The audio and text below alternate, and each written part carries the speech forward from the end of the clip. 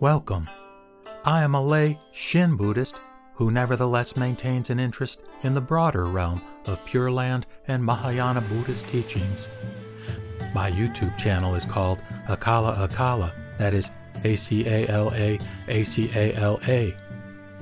In these podcasts, I make a non scholarly, humble, and sometimes bumbling attempt to explore a particular topic or question related to the wonderful Buddha Dharma. I hope you find them to be of interest. With that said, let us begin.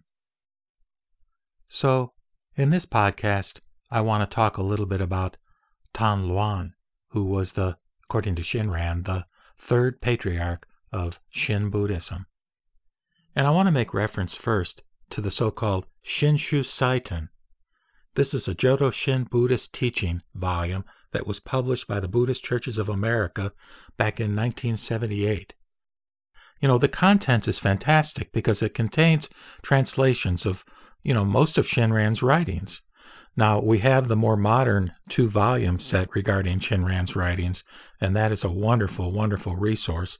But in any case, I want to poke my nose into the Shinshu Saiten, and as a prelude to Shinran's Hymns on the Patriarchs, where he talks about each of the seven patriarchs of Shin Buddhism, there's reference to this third patriarch, Tan Luan, whose name in Japanese is Dan Ran. And it's noteworthy here, to my mind, that the first two patriarchs are, are Indian, namely uh, Nagarjuna and Vasubandhu. So Tan Luan is the first of the Chinese patriarchs of Shin Buddhism, or Jodo Shinshu. And in the Shinshu Saiten, it's noted that it is Tan Luan whose birth and death dates were 476 to 542 who gives first definition to the fundamental outlook of the popular Pure Land tradition.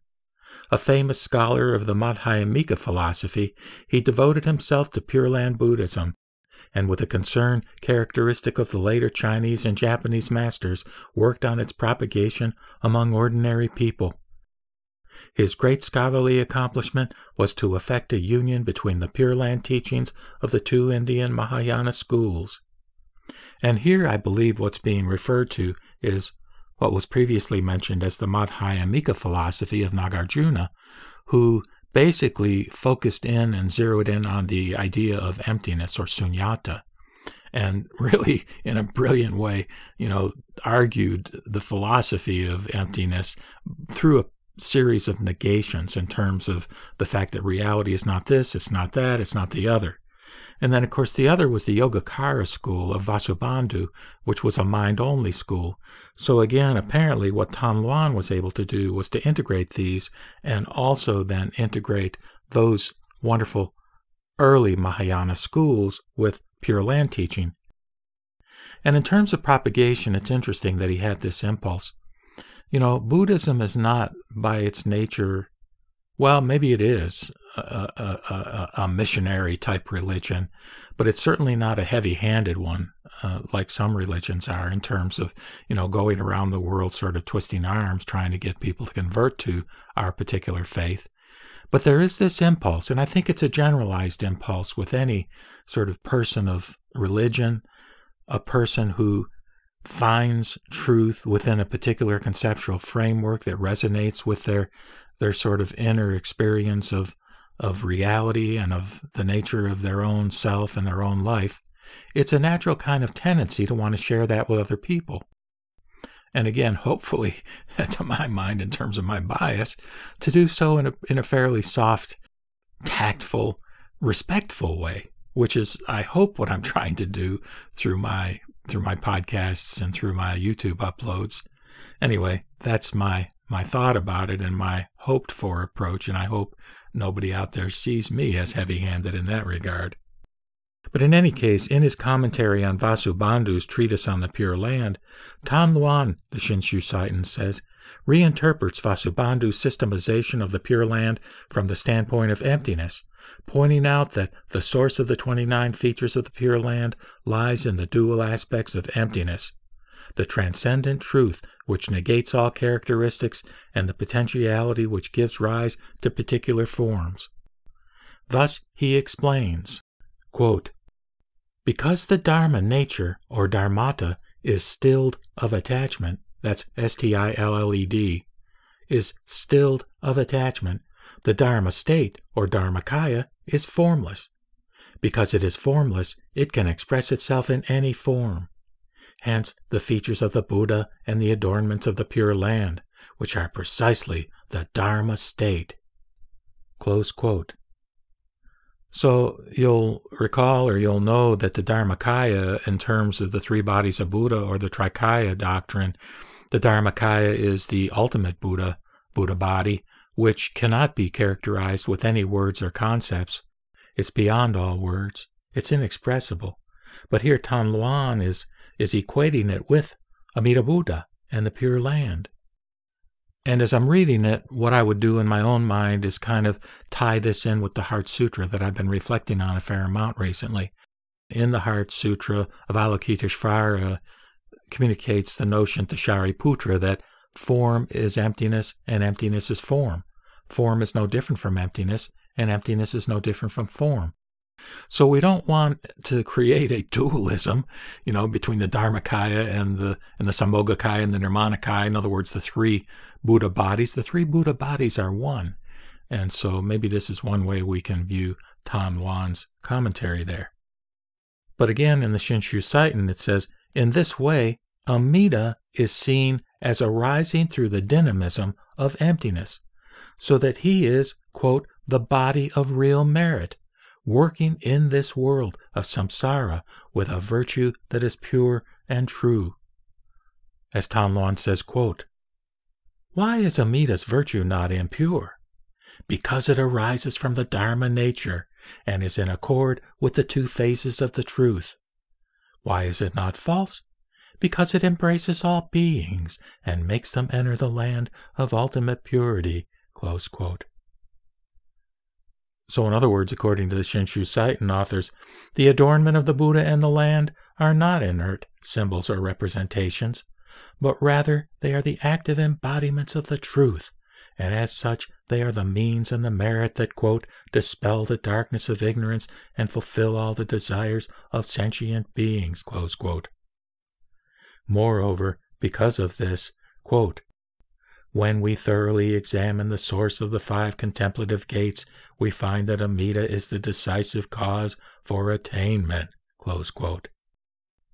Now, I don't know enough about Pure Land doctrine to be able to explain to you right here what the five contemplative gates are, but I would take these to be self power practices, various forms of contemplation that earlier in the Pure Land tradition were part and parcel of the practice and and the repetition of Buddha's name was sort of one of many uh, sort of focal points for concentration that was designed to, I guess you could say, purify the mind or help a being to attain enlightenment.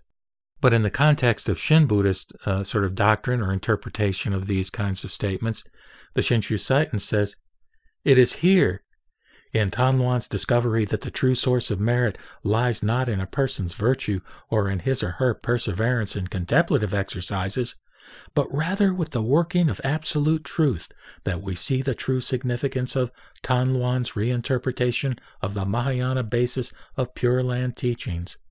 In focusing on those aspects which are most concrete and most active, he radically alters the role of the Pure Land practicer. Tan Luan uses the terms self power and other power to distinguish between a person's own efforts and Amida's virtue. So I guess that was correct that, again, the five contemplative gates relate to self practice, and of course, our Pure Land approach, whether it be an earlier form or the more refined form of Shinran Shonin, is definitely an other power kind of approach to religion or spirituality. So in the Shinshu Saiten, they assert that Tan Luan points out that because self power arises from the relative self, it inevitably involves the risk of deepening the illusory attachment whose suppression is the object of endeavor, and that its practicers are like silkworms fastening themselves with bonds of their own making, it is in the denial of self power and in the free working of true compassion that liberation is to be realized. And what comes to mind here is something I read a long time ago. I think it may have been in Trungpa, uh, and he's just as many as his personal faults may have been. He, he's just a, a brilliant uh, fellow who did have, I think, a, a, very enlightened mind, so to speak. And he talks about ego, and I think it was in Cutting Through Spiritual Materialism, which is a great book you might want to consider getting. But anyhow, the idea that ego doesn't give up easily. Ego challenges and fights our efforts, if you will, to transcend it, to give it up, to let it go. And so that's part of the problem with the self power kinds of approaches that is that they can they can translate into a kind of, as Trung Trungpa would say, spiritual materialism. In other words, not continuing to have greed or exercise the need or desire to bring things into our lives like, you know, big screen TVs or neat kinds of cell phones, but that, you know, people seeking spiritual enlightenment can, through that seeking, have that become an object of their desire, which they wish to obtain, so to speak, for themselves. And again, that's contradictory to what the, the true state of enlightenment is, which is a state of letting go, of giving up, of transcending ego, of realizing that I, me, and mine are illusions. So, closing out the Shinshu Saiten commentary here, they say The problem for the practicer, then, is the cultivation of sincere and single minded devotion, which is receptive of Amida's power. So, so the idea is to be receptive of this gift that Amida wants to give us, which is, of course, then when we accept it, the experience of Shinjin, or faith. They say, this is accomplished by calling the name, which embodies Amida's virtue, with a realization of Amida's significance and with a faith that is pure, firm, and undistracted. So the name embodies Amida's virtue, and I think what Shinran says in terms of his interpretation is that it's Amida wanting to transfer merit to us, merit that is embodied in his name, in the phrase Namo Amida Butsu. And so, closing out here from the Shinshu Saiten, they say, in laying the groundwork for this shift of concentration from contemplative discipline to the attitude of faith, Tan Luan transformed the Pure Land Bodhisattva practices into an independent way of enlightenment available to ordinary people. And my goodness, how critical was that? Because up until then, I would think that most of the Buddhist practitioners were monks, were people who could spend full time doing this kind of thing, and they had the opportunity for meditation. But listen, what I want to close with here I've been reciting on my primary uh, YouTube channel called Acala Acala gathas or verses, gathas in praise of the Buddha Amitabha, composed by the Dharma teacher Tan Luan. And these were translated into English by a fellow named Charles Patton. And again, remembering that Amitabha is one of two Sanskrit names for Amida, which means Buddha of infinite light and his other name, of course, Amitayus, which is Buddha of infinite life. So again, I've been reciting these things that involve these verses, but what I didn't recite within the context of those particular series, which I think I put under the playlist of other Pure Land or faith based kinds of teachings, what I didn't do was the chorus. And what I'd like to sort of close with here is the chorus from those verses by Tan Luan to give you a better idea of where his, his head was at and how he was viewing the Pure Land kind of devotional orientation in the context of his studies and his integration of Madhyamika and Yogacara with the Pure Land school. So here we go with that. The chorus Nama to the thought of taking refuge in and prostrating to that Western Buddha Amitabha his commiseration is protection covering us, causing the Dharma seed to grow and develop in this life and the next. I pray that the Buddha will always gather us up. I vow to be reborn with the sentient beings in the land of peaceful happiness. Nama to the thought of taking refuge in and prostrating to that Western Buddha world of bliss and the Bodhisattva of Avalokiteshvara. I vow to be reborn with the sentient beings in the land of peaceful happiness. Nama to the thought of taking refuge in and prostrating to that Western world of bliss and the Bodhisattva Mahasthama. I vow to be reborn with the sentient beings in the land of peaceful happiness. Nama to the thought of taking refuge in and prostrating to that Western world of bliss and the pure oceanic assembly of bodhisattvas.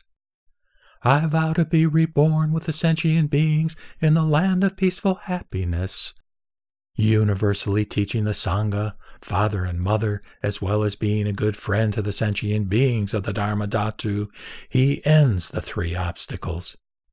Equally, being reborn in the land of the Buddha Amitabha, they take refuge and repent. So, since I can't resist babbling just a little bit more, let me just mention explicitly the fact that here he's referring to Avalokiteshvara and Mahasthamaprapta, who are the two bodhisattvas representing compassion and wisdom who flank Amida Buddha in all the iconographic kinds of portrayals, either in painting or in or in various other kinds of artistic renderings. May anyone listening to this podcast also be reborn with the sentient beings in the land of peaceful happiness after this life in samsara ends.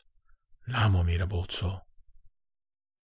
With that, I will sign off by reciting the Nembutsu in gratitude for being embraced and accepted just as I am by Amida Buddha, never, never to be abandoned. Namo Amida Butsu. Namo Miraboots, Namo Miraboots.